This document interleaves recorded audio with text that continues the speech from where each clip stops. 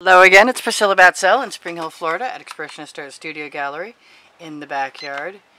Remembering to set her timer. I'm so sorry that took me an extra second. I'll just set that for 16 minutes. You can see the crane picture. It's stainless steel. It's usually easy to clean out if you catch it in time. I didn't. But um, they're on the Amazon link. And so are the OXO omelet turning spatulas that I'm going to use in a minute. And uh, I just got myself some very sharp tweezers and I am looking forward to being able to pluck out all of the indiscreet items that tend to wind up in my artwork from whatever's on the breeze, and those are perfect. I think they weren't any more than a few dollars at the most, and I'll be very happy to have them. So I'm going to do um, a variation on a ring pour, but um, it's going to be different for sure. I'm going to start with some black paint, just regular black paint and I am not going to worry about any enamels for a minute. I'm going to grab some white paint. Am I? I thought I shook everything up and unclogged it. Well, I've got the ability to get some of that out of there. So I'm going to do the white in between.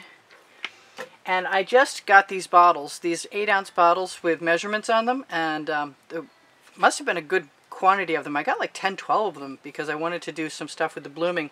And this is the Folk Art um, multi-surface acrylic neon. And I added the Sargent iridescent medium that I also have on there just to see how it was going to react. And so far, I'm loving the color.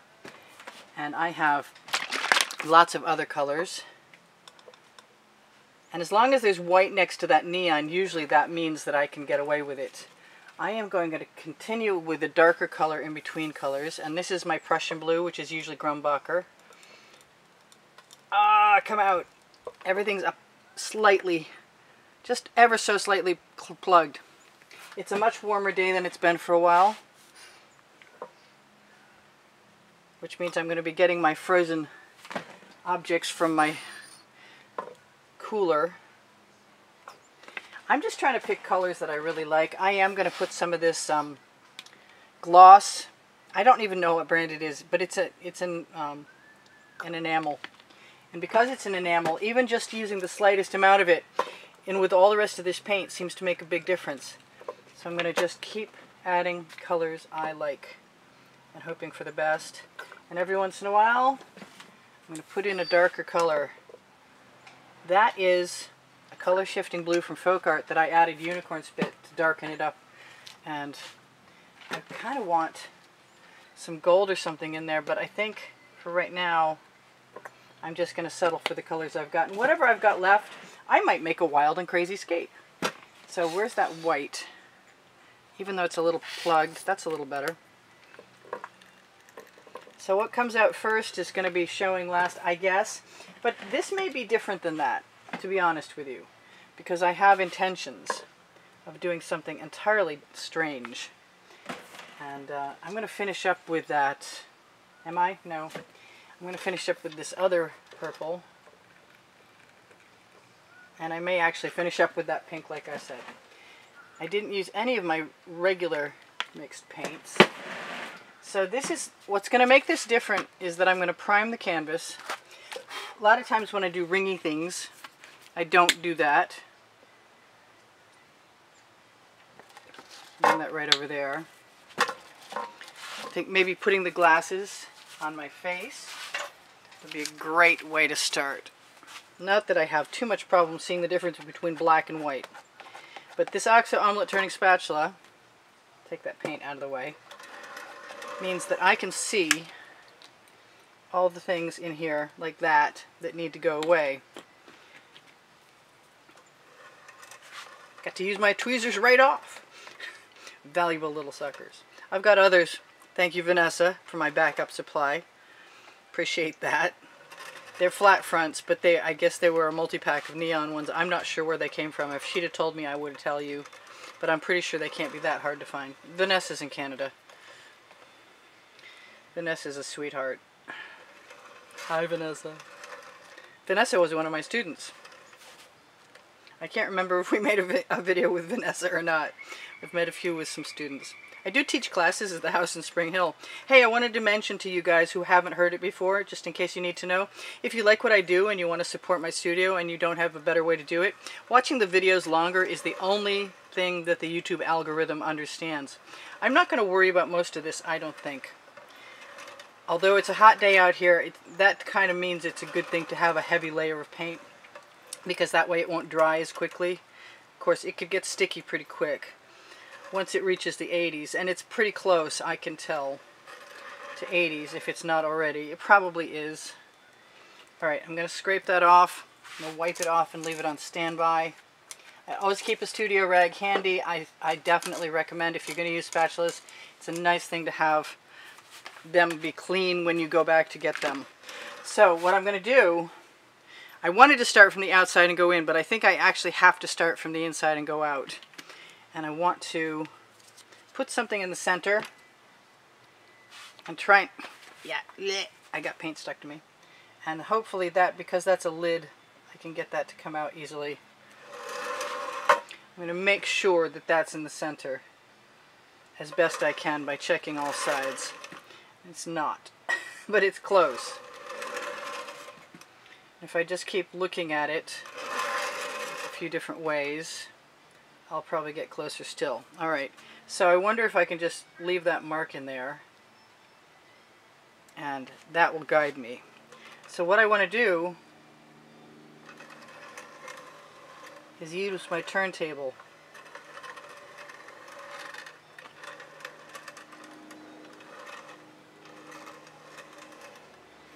and overlap my paint.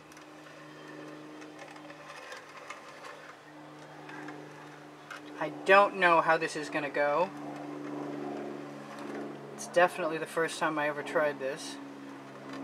I keep hitting the bottom of the cream pitcher in the black paint, but I don't really think it matters since it's a pretty heavy layer anyway. Who knows what's going to happen when I get to the end of this. Of course, I've also got basting brushes and I can add more paint if I don't like what I've got. But I kind of do. Like what I've got, I mean.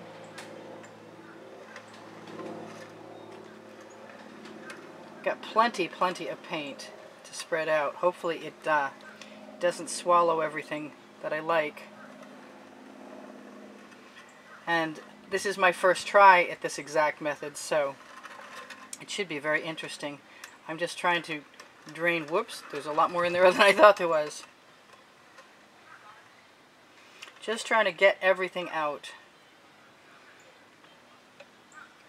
I, I have the inclination to like take something iridescent or take something gold and go in between the layers, but I think that's best left for another experiment. Oh, come on. Finish up, would ya? I've got something I can plug that with. And then I've got Princeton Art Tool Catalyst spatulas, which are great for reaming out the center of things. So I'm not going to panic. I'm not super thrilled with this area, but I think that it's going to be okay. And um, I was going to use a round canvas today. Just because. And I'm going to try and join the Slow Tipper Club, although I make no guarantees that that could be the way it happens. I'm going to try and notice which way the I'm going to try and go the opposite way from the way I was just doing because I think that'll pack my my ring in better. Let's hope I'm right. I don't know if this is even possible, but I just have this idea in my head that it is. To create some sort of organic spiral from laying the colors over each other. Now I think I'm going to recenter my paint and go back the other way now. And I think I see something in there. Nah, that's just me wanting to play with my tweezers.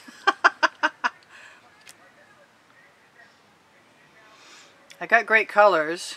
We'll see what happens. I got some paint that's obviously a little heavier than other paint.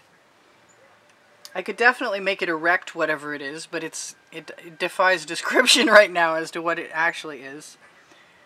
I love the iridescent colors over here around the edge with that turquoise in it. I want to just go a few places in a non-circular mode and see what happens, but it's, it's hard to pick how many different experiments you want to include in one. And so far I'm just, I'm happy with the colors, but I'm not so thrilled with the pattern. That could mean that anything's possible at this point. So I'm just watching the flow of the paint, wishing I had a little more dimension.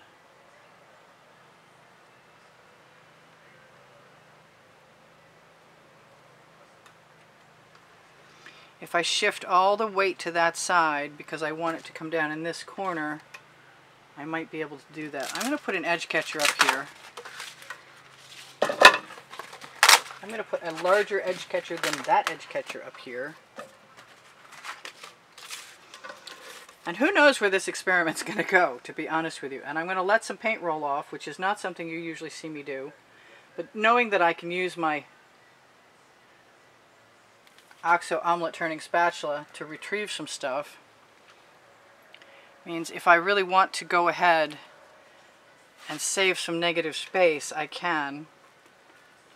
Or if I want to take this paint, which is beautiful on the edge catcher, and put it back on somewhere else, I can do that too. I much prefer a diagonal stripe. I'm not preferring much of anything about this yet, but I'm not done either. And it might be a good example of what you can do with paint and a spatula.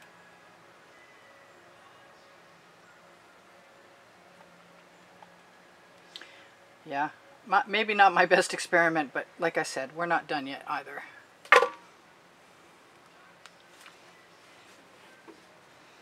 Just going to touch my finger to the parts that might be construed as needing some coverage. Grab the black. Oh, now I got paint on me.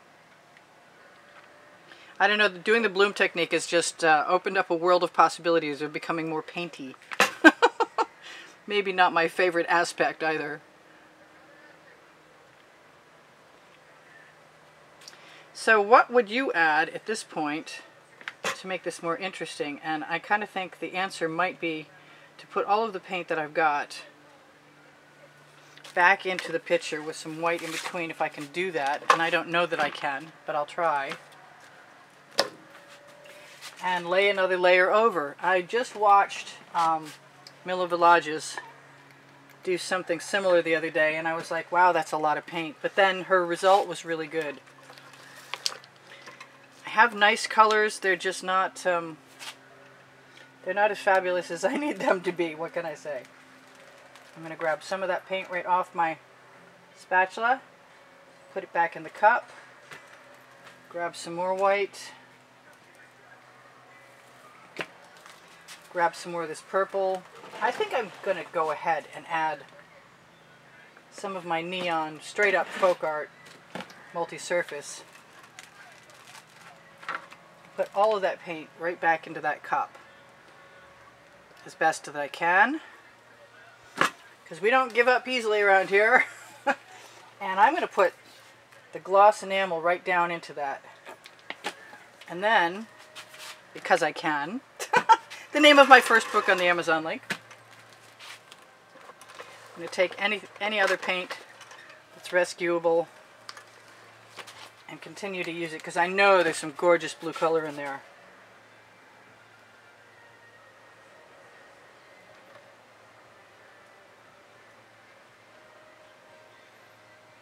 This is just a great experiment that I want some more white into. And maybe some more pink. And since I have that white in there, I'm going to use some more neon.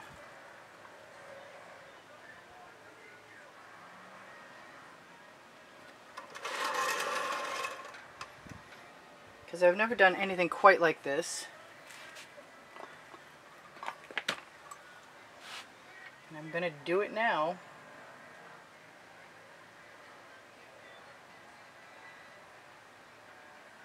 Just making really random patterns. And then I'm going to tilt. I could also basting brush. Which is just basically um, a regular silicone basting brush from like Walmart for a buck or whatever, and then you cut off a lot of bristles. I'm so not done with this color.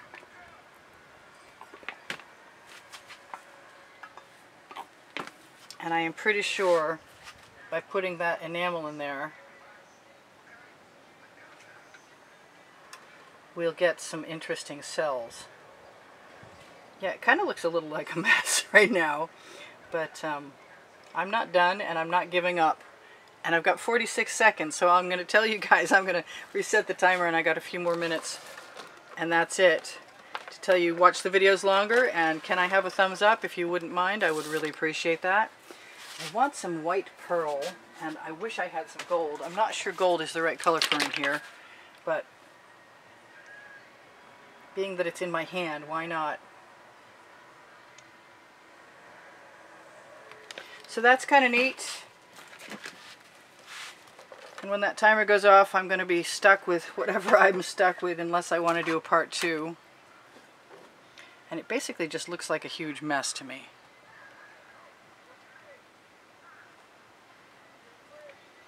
But it could change. Alright, well I'll let you guys know I do sell my art. I do give classes at the house in Spring Hill. I can't say that I'm super duper thrilled with what I've just done. So probably you'll never see it or anyone unless it turns out to be something spectacular in the next few seconds. Which has happened. I kind of think orange would fix it, but I'm not sure of that right now.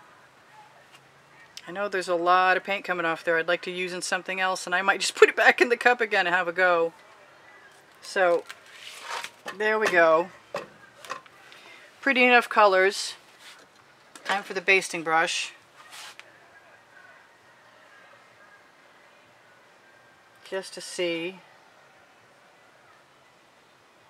what that will do. And I, I actually do like it when you drag lines through things quite a bit. And that's actually kind of nice. I don't know how many I want to drag through there.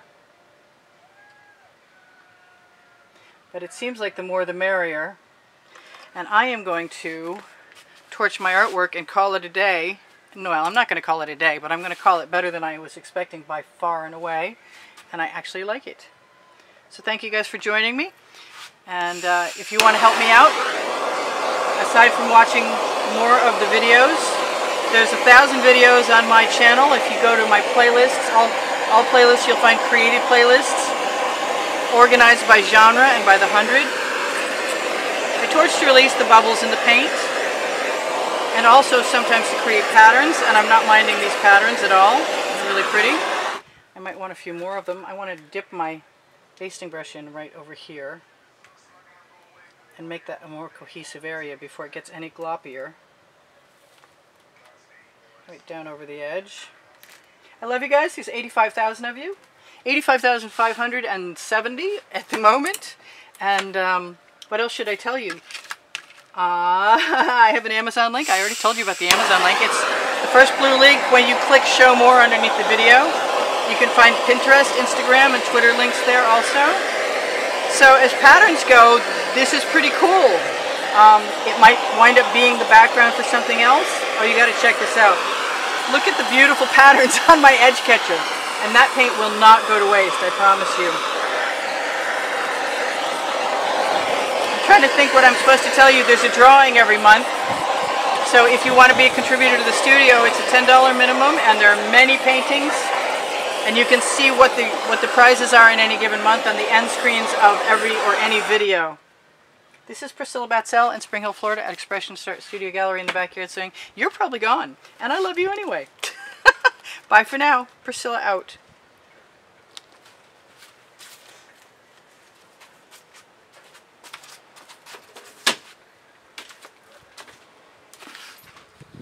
You're still here. Wow, that's cool. Well, good. Maybe I can zoom in. I think I stopped, I think I started my, my uh, timer a minute early. So I love you guys. And uh, what did I forget? Anything? Ha! I forgot to wash my hands. I'll see you guys anon. Bye for now. Priscilla out.